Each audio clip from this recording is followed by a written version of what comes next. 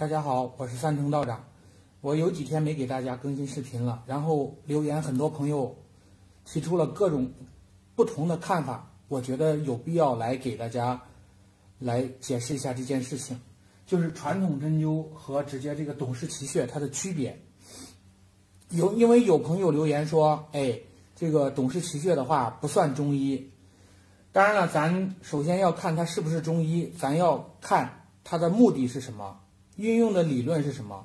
然后的话就是说，咱知道传统的是十二经络加上奇经八脉，然后用这个取穴的方法呢，有近端取穴、远端取穴和对应点取穴、反应点取穴等等，呃，这些取穴的方法。那很多人说董氏奇穴，它用的是。啊，这个一一部位、二二部位、三三部位、四四部位、五五部位，一直到十十部位，它这个的话跟十二经络不相符，那它这个就不是这个咱中医的范畴。我想呢，它是这样的，就说《黄帝内经·素问·阴阳应象大论》第五篇，嗯，《阴阳应象大论》里边讲了，故善呃故善真者，从阴引阳，从阳引引阴。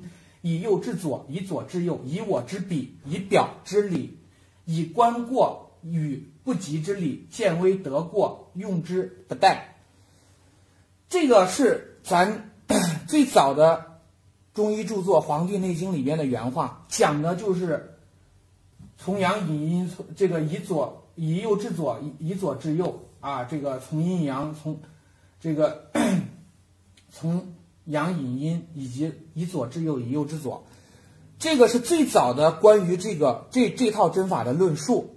然后呢，在一九七几年的时候，山东大学张迎秋教授写了一本《生物全息论》，讲的也是这件事儿。最早最就是跟现在最接近的，就是在这两年，然后山东呃不是这个河南中医药大学曹大明教授写的这个《以象释医》。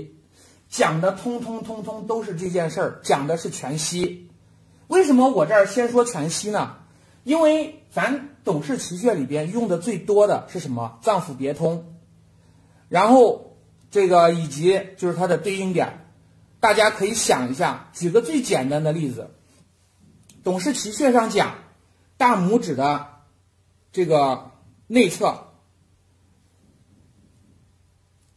这儿是妇科穴。那同样的，它对应的咱大脚趾的内侧这块儿复灵穴，实际上它们的效果是相同的，它们用的就是对应的这个原理。其实上，就根据这个阴阳的印象大论，咱可以总结出来，无所不应，无所不像，根本就不是很多人以为的啊，就说啊，咱中医的理论里边只有十二经络，没有其他的，并不是这样子。因为咱针灸，咱针灸的治法呢。咱针灸的这个、这个、这个选取的方法有哪些呢？或者换句话讲，就是咱针灸的理论。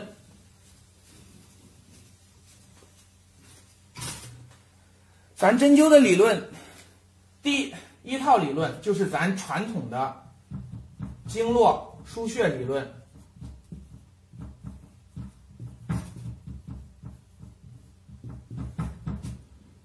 第二套。带脉理论，第三套就是脏腑别通理论，第四个反应点理论，第五个是对应点理论。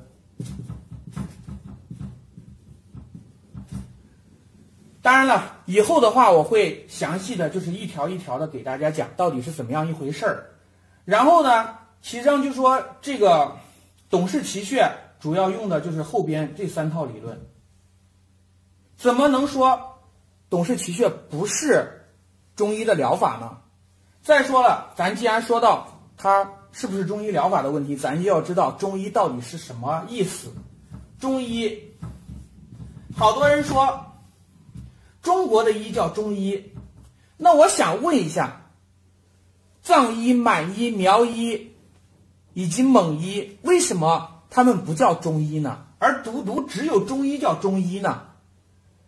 因为中医它秉承的一个原则，就是说当时唐尧把直接皇位传给舜的时候，告诉他遗言的那四个字：允、直、绝、中。这四个字已经很能说明这个问题了。这儿这个中不是中国，因为咱知道，咱说尧舜禹那个就是他们上古的那些圣人，他们那时候的话只叫禅让，那时候没有国家，没有中国的这个概念。然后呢，这个中是什么意思呢？这个中是中道的意思。简单讲，就是说我一定要把握住那个最平衡的，也就是最健康的状态。所以说呢，咱中医就是把握住了中道，然后力求平衡的一派医。但凡你遵循了这个原则，都叫中医。所以说，我觉得有的人比较狭隘，当然这个狭隘也是有原因的。然后的话，就是说他所经历过的教育，或者他所了解过的东西，当然咱不做评价，因为每个人有他不同的经历。然后我今天主要给大家讲这个。具体的话，以后我会详细的，就是逐条逐条的给大家讲这些到底都是什么样的意思。好，今天到这儿，好，拜拜。